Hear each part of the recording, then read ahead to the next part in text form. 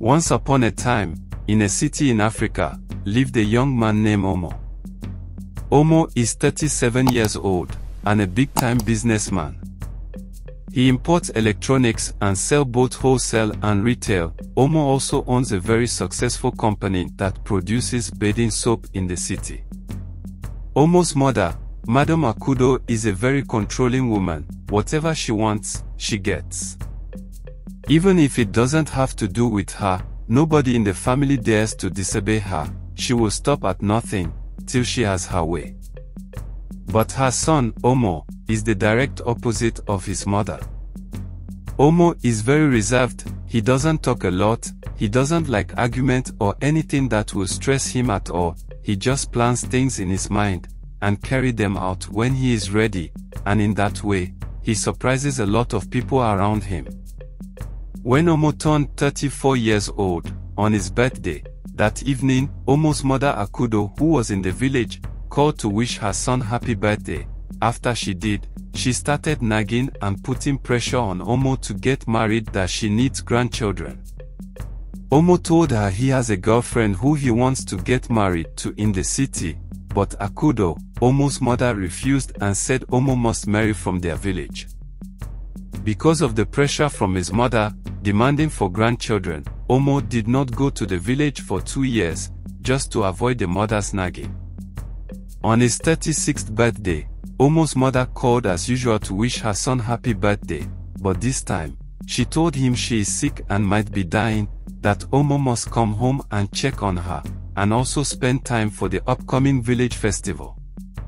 Ogugu Festival is the biggest festival in Omo's village. Most of the people from the village always comes home for the festival. Even those outside the country also comes to attend the festival.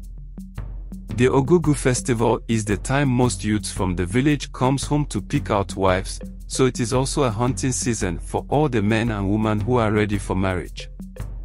So Omo agreed that he will come home. The day came and Omo traveled home. When he arrived at the village, everywhere was lively, he has missed the pride and beauty of his village and was excited to be home. Omo soon realized that his mother lied to get him home. She was not sick at all, it was one of her manipulative ways to lure him to the village during the festival season so she can look for a girl for him to marry. Omo who doesn't like argument kept quiet and never said anything to the mother when she started the issues of grandchildren. He just smiled and won't say a word. As days passed, the festival was an exciting one and Omo was glad he came. He had actually missed how things were done in the village. It was packed with excitement from people who were based all over the world. All the young ladies and men who were aspiring, or planning to get a wife or a husband, never disappoints. Everybody dressed their best during the Ogugu festive period, which is celebrated for five days. In that five days, there will be cultural dancing and display of art and magic by the village, magicians and several other activities. The celebration starts at midday at the village square, where everybody will parade themselves and those who are ready for marriage will seek to pick the best and beautiful ladies in the village to get married to. Omo attended all the festivals, but always leaves when it was time for picking wives and husbands. One evening, Omo was in his room playing video game and being his usual reserved self, as he has no friends to visit in the village. Akudo, Omo's mother came home with a young lady, she had told the lady that Omo is ready to get married, and that she, Akudo would like to marry the lady for her son Omo. The lady was excited and followed Akudo home to visit Omo. In their village, it is a custom that parents can choose who their sons and daughters marry, but their son must give their consent for that to happen, which is not the same as their daughters. Akudo brought the lady to Omo's room and introduced her to Omo as a wife she is marrying for him. Omo smiled and said nothing. Akudo left the lady in Omo's room and said they need to get to know each other and left. Later that evening, Akudo came to Omo's room and the lady was gone. She asked Omo about her and he said she has gone home. Akudo was very excited and asked Omo, so do you think she is the one? Omo smiled and said, Mama, the one is with me in the city. This one, I am just doing it for you. The mother said, Yes, do it for me, my son. So, what do you think about her? Do you like her? Omo said, Not really, she is very shy and not that educated. He thought by saying that, his mother will back down, but she said, Don't worry, tomorrow, I will bring another girl. There are so many beautiful ladies in this village looking for husbands, and you know your father, even though he is late, is still one of the richest man in this village by the amount of land and businesses he owns here. These ladies will throw themselves at you. Omo smiled and said nothing. The next day, in the morning, the mother came home with another lady. This one is a bit forward. As she came in and saw Omo in the sitting room, she went straight and sat next to him. Omo smiled and said nothing. Akudo said, you guys can go to his room. I have a program I love to watch around this time so that I don't disturb you. So Omo and the lady went to Omo's room. Later that day, Akudo, Omo's mother who dozed off while watching her favorite program woke up and saw Omo in the sitting room eating. She asked him what happened with the young lady and Omo said, she has gone home, that this one is just too forward. He doesn't want anybody that will give him stress in life. So Omo's mother said, Okay, it is fine, I will bring another one home later this evening. Don't worry I'm sure you will find at least one, that you will like among all the ladies in this village. That was how Akudo continued to bring ladies for Omo till she had brought over 14 ladies to see her son Omo. The festive season was over and Omo went back to the city, he went back to his girlfriend, back to his life and business. Five months passed and Omo's mother called him screaming over the phone. She said, the king has summoned Omo to the village, that all those girls she brought to Omo, 11 of them are heavily pregnant and they are all claiming that Omo is responsible, but she knows that they are all lying. A date was set for Omo to come down to the village and face the judgment from the king. As the day came, Omo arrived at the village that morning and went straight to the king's palace. As he got there he saw all the 11 ladies heavily pregnant, claiming they are all pregnant for him and he must marry them. After a while, Omo's mother Akudo arrived at the palace and the meeting started. Each lady explained how she met with Omo and what transpired, when it was almost time to speak. He came and stood in the middle and said to the king, Your Highness, please I want you to ask any of these ladies, if I, Omo, opened my mouth and promised any of them marriage. The king asked each of them and they said no, but Omo's mother had assured them that she wants to marry each of them to Omo her son. Omo said, fine, that is number one. Number two, please your highness, can you ask any of these ladies if I told them that I have a lady I want to marry in the city when they came to visit me? The king asked and it was clear that Omo told each of them when they visited that he has a lady he wants to marry in the city.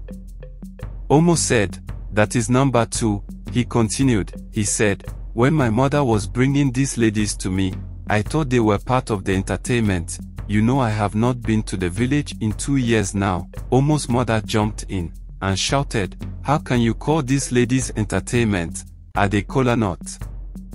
Omo smiled and said, Mama, this is the 24th century, anything can be used as kola nut. The king cut in and said, but why did you sleep with them if you know you don't want to marry them? Omo replied, Your Highness, our people says, it is a taboo for someone to offer you kola nut, and you reject it, so who am I, to disobey our tradition, I had to accept the kola nut that was offered to me. Omo's mother jumped in, and shouted. Omo, you must marry all these ladies, you don't have a choice in this matter, and Omo smiled and said, Mama you lie. He said, you are a very controlling woman, you are the reason my father is dead, and that is still in my heart till this day.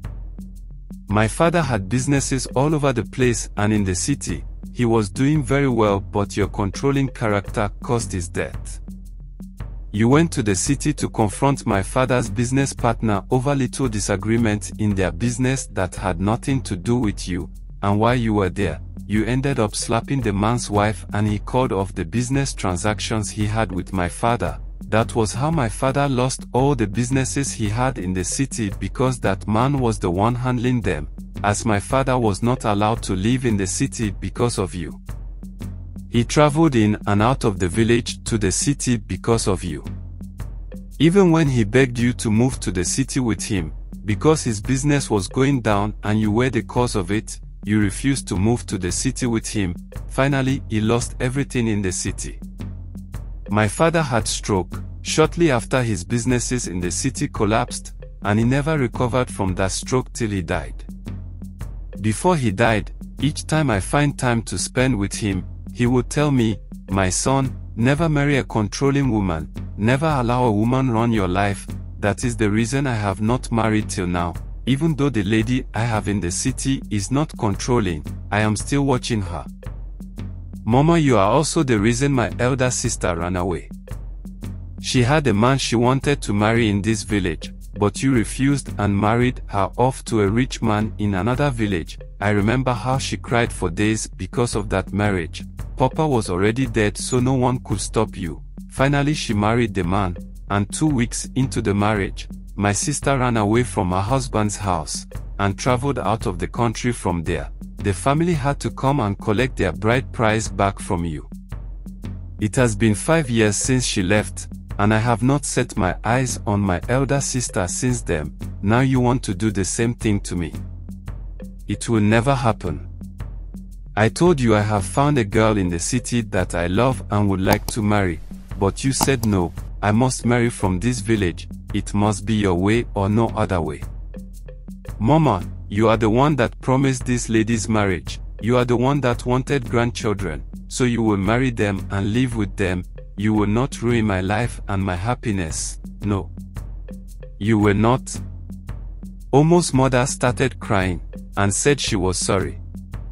After the king listened to Omo's story he proclaimed that all the ladies will marry Akudo, and give birth for her, as she was the one that wanted to marry them and not her son Omo. That evening, Omo was about to return to the city, he came home and found all the ladies sitting with his mother who was crying from all what Omo said to her. Omo said, Mama look at the brighter side, you have your wish, you will be having 11 grandchildren, and we have all the money needed to take good care of them. So mama you can start a football team with these kids if they are all boys. One of the ladies said, I am having twins. Omo said wow, congratulations to you. So mama, you have a complete football team and a referee, that is so great. He got into his car and drove back to the city. Two months later, Omo got married to Doris his girlfriend, but his mother never came to the wedding. His sister who traveled came back with her new husband and their two kids to stand as Omo's mother and family in the wedding. Story ends. Moral of the story. Do not push anybody to the wall, even the quietest person at some point will react when it gets too much. Number 2. Women, stop controlling your husbands and family, you will end up pushing them away. I remain Uncle Sam. Stay safe.